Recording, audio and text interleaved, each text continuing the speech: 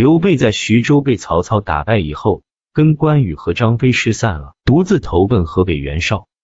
曹操使用计策夺取了徐州的下邳，把关羽围困在一座土山上，派遣跟关羽有一面之交的张辽来劝降。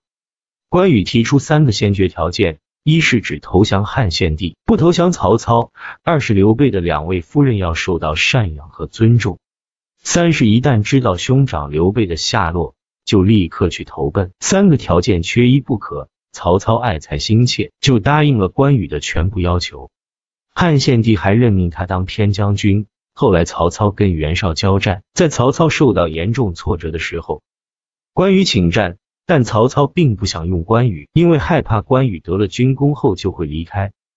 但事出无奈，还是让关羽出战。关羽斩杀了袁绍的大将颜良，为曹操解围，立了大功。曹操上表奏请朝廷封关羽为汉寿亭侯，还专门铸成一枚大印送给关羽。在随后的战斗中，关羽又追杀了袁绍的另一员大将文丑。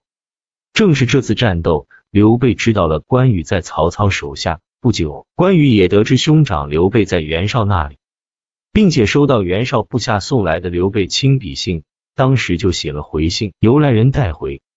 关羽把刘备兄长的消息告知嫂夫人以后，就到丞相府向曹操告辞。曹操知道挂印封金他的来意，在大门上悬挂了回避的牌子。关羽一连去了好几次，都见不到曹操。张辽也推脱有病不接见。关羽知道他们的用意。就写了一封信，派人送到相府，然后把历次所收受的金银都封存起来，把汉寿亭侯的大印悬挂在大堂上，带着以前的部将护送着两位嫂夫人，向着官道进发，去投奔刘备了。